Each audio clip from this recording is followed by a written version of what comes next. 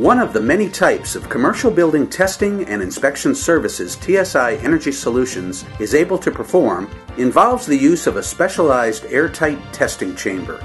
This chamber is utilized in determining the air tightness level of an existing wall assembly or a wall assembly mock-up. Typically, the test chamber is attached and completely sealed to either the outside or inside of the wall section to be tested.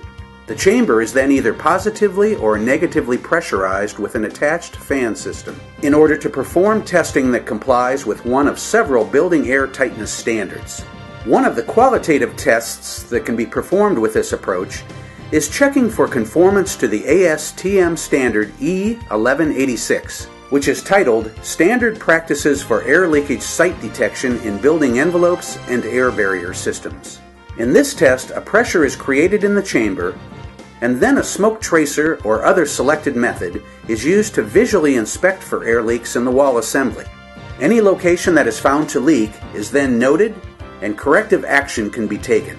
Other testing that TSI can perform with this chamber application is for conformance to the ASTM standard E2357, titled Standard Test Method for Determining Air Leakage of Air Barrier Assemblies.